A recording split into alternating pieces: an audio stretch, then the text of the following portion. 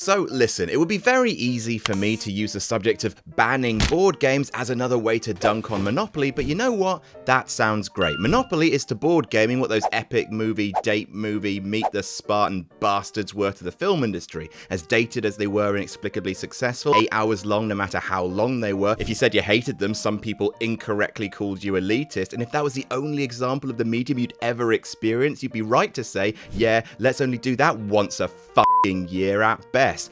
Ah, I feel better now. And if that bothers you enough to leave a comment saying how much you like Monopoly, just know that I own the most valuable property of all, under your skin. So yeah, Monopoly is banned from my gaming table. Most gamers have games they refuse to play, but sometimes it goes a little further than that. Sometimes a game commits a boo-boo so heinous, it goes directly to jail without passing go. I'm Adam from No Rolls Barred, and here are 10 controversial board games that got Also, if you like this video, please give us a subscribe. Some people watch our videos without subscribing. Oh, we appreciate that, but it also helps us get ad revenue so we could make more so subscribe. Thank you, bye. Number 10, What Shall I Be? The exciting game of career girls. Coming in hot. This game was made in the past. Things were bad then. Things are bad now, absolutely, but at least parents aren't buying this patronising piece of shit for their daughters. It was made in the 60s by the same company that made Scrabble and saw the players competing to collect skills, avoid bad traits, all in a race to be the first to become a career girl. There were six careers you could be model, actress, air hostess, teacher, nurse, and ballet dancer. Those are all worthy careers, of course, but eyebrows then start to raise when you consider they also made an exciting career game for boys, which let them choose from statesman, doctor, athlete, engineer, scientist, or astronaut. Sorry girls, no space for you. The closest you'll get is air hostess, but not if you get the overweight token. Oof. After increasing pressure from people who thought this was bullshit, the first edition of Exciting Game for Career Girls was pulled from the shelves and eventually replaced with a copy that had the same jobs as the boys. Number 9, Serial Killer the Board Game. Death is a common subject in gaming. It is, after all, the ultimate loss condition we all must face. Spoilers. And board games deal their fair share from the constant spectre of starvation and disease in survival games like This War of Mine or Dead of Winter, or the Jack the Ripper 'em up killer on the loose games like Letters from Whitechapel or Last Friday. But few games have reveled in death quite as much much as Serial Killer the board game, which had a brief sales run in the early 90s and saw players compete to go on the biggest spree and featured such grim presentation as the board and cards coming not in a box but in a body bag, the rulebook having an actual rendering of a corpse's face on the front, cards that blame the victims for being alone at night, and even coming with a bag of. Are they babies? They're they're babies, I think. Ooh, edgy stuff, game. You won't clean your room when your mum tells you to. The game drew outrage in the media, which was almost certainly the point, which is bleak enough in itself, but eventually led to it being banned in Canada before fading from sight back into the shadows. Number 8, Hart an der Grenze, and now a shining example of how the setting of a game can make all the difference. Hart an der Grenze, which translated from German is a play on close to the limit or close to the border, is a game all about smuggling items through American customs in little tin suitcases, often by bribing a sheriff to let you through. While the wide release of the game drew little controversy, the game was actually banned in the designer's home country of Brazil on the grounds that it encouraged players to disrespect the authorities. And as we all know, the Brazilian government strongly rejects bribery and corruption in all forms. They're famous for it. It's on their Wikipedia page. If the mechanics of the game sound familiar to die-hard No Rolls Barred fans, it's because the game was reskinned a few times, eventually becoming Sheriff of Nottingham, a fantastic smuggling game which we featured on our top 10 negotiation games list. See, it's all connected and proves any game can be made palatable if you just make it historical, right? Number 7, The Sinking of the Titanic game. Nope. Here's a front cover of The Sinking of the Titanic game, which, as I found out while I was researching this list, made people very cross. Less because of, you know, the whole cashing in on lots of people dying, but the fact that the box depicts the angle of the ship like this, which makes it way too early in the timeline of the disaster for the HMS Carpathia to have arrived. Read a f***ing book. It seems like an interesting enough idea for a game. You roll dice and move through the Titanic, which tilts further and further on this rotating section of the board with every one or six rolled. You rescue passengers, get food and drink, and get off the ship all before it eventually sinks, with the rescue ship showing up on the other side of the rotating section. It's got some stuff going on. Unfortunately, that stuff also just Lots of people died, and the game received enough backlash to be pulled by the publisher before it was eventually re-released as Abandoned Ship, colon, any similarities to a real-life ship are completely imaginary, honest, please stop being cross. Number 6, Killer slash Assassin. If you've ever been to a university in an area that isn't actually plagued by violent crime, you might have heard of Assassin, a sort of LARP role-play style game where students are part of an assassin society, are assigned another student as a target, then they have to stalk them and air quotes execute them with a squirt gun or a banana or something. Whimsical lols for nerds, but the game actually has official rules, once officially released as Killer by Steve Jackson Games, the people who made Munchkin. However, the game has seen a number of American universities, especially in the wake of actual campus shootings, ban the game. Universities in Nebraska, Texas, New Orleans have all forbidden students from playing the game, in some cases bringing disciplinary actions against people who apparently took the game too far by, checks notes, leaving fake bombs around. Don't do that!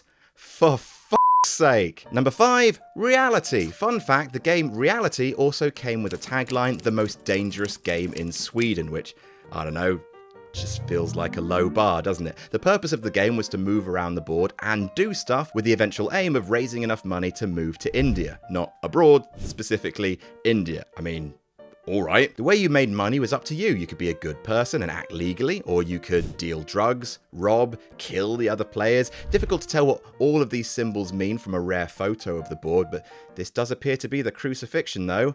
Hi, Jesus. So it's all near the knuckle stuff, but the game really courted outrage owing to the fact that players could actually do drugs to gain certain benefits in the game, like taking speed and then getting to roll two dice instead of one. A campaign began to have the game removed from circulation, which eventually worked, and now the mad game is lost in the past. Number four, Bombshell! Ah, something for us Brits to be proud of now, Rule Britannia, and a game made by what were once the biggest game publishers in the land, Waddingtons, the company that brought you Monopoly, Cluedo, Subbuteo, the lads. Bombshell was an eye-catching toy game with the table presence and push your luck elements of a Don't Wake Dad or Pop-Up Pirate, except if you did the wrong thing, everybody died because the game was about not tiptoeing around a dozy daddy or probing privateers with pointy pins, but defusing an unexploded bomb. On your turn, you turn the top of the bomb with your soldier, and if it explodes, you gain an injury, too many injuries, and you're out of life, I guess. It seems fairly harmless fun, but in a bit of terrible timing, a few weeks after the game's release, a real-life bomb disposal officer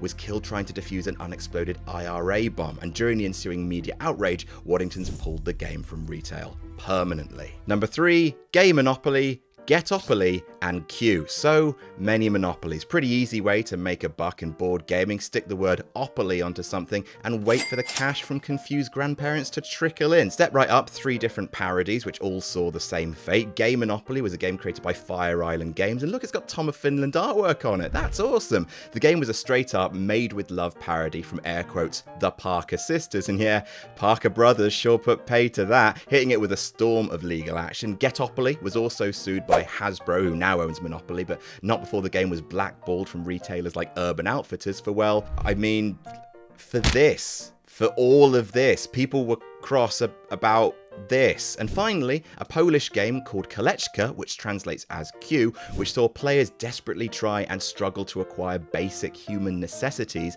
under the old Soviet regime. It was branded by the Polish press as communist monopoly and unsurprisingly banned for sale by the Russian government, who just have the best sense of humour, don't they? Look at them. Happy as clams. Number two, Public Assistance, another economic parody board game, this time a right-wing tinged mockery of the American welfare system. The tagline was, why bother working for a living? That'll show 'em game. In the game, you move around various tracks, switching between a track where you have a job, which is just a nightmare of rent, car payments, and other burdens that plague good old hard-working Joes, or you can go on the welfare track, where every space is full of things like having an illegitimate child, doing some armed robbery, prostitution, snatching purses, dealing drugs. It's a punch down joke of a game brought to you by Hammerhead Enterprises, the same company that made Capital Punishment, another game that sought to spin cash by pointing at misery and winking. After a sustained letter writing campaign by what was then known as the American Public Welfare Association, public assistance was eventually banned from retail. And number one, Juden Raus. Oh, okay, I mean, if you didn't know about this game, I am sorry for bringing it to your attention, but it's one of the most infamous and heartless cash-ins on human suffering, not just in board gaming, but in most mediums. The title of the game, published in 1936, translated to Jews Out, and tasked players with collecting Jewish people and taking them to collection points, expelling them from their city. What makes it arguably worse was this wasn't propaganda from the then Nazi government, but made by a private company to profit from the anti-Semitism of the time. The SS actually condemned this game for trivializing their movement. The game was too offensive for the Nazis. So yeah, that's that's something that humans have made for children. It's long since been banned, obviously, but copies have been kept by numerous historical societies, as it's come to represent what the International Board Game Studies Association call a terrifying example of the banality of evil. Sorry for ending the list with, with this. I kind of want to end with something a little light-hearted, so, uh, look at this corgi's butt. Oh, I'm. Oh, and that's our list. Have you encountered any of these games in the wild? Let us know in the comments. Don't forget to like and share this video if you enjoyed it. And subscribe to No Rolls Barred for more board game content that's generally a bit more light-hearted. Get on board.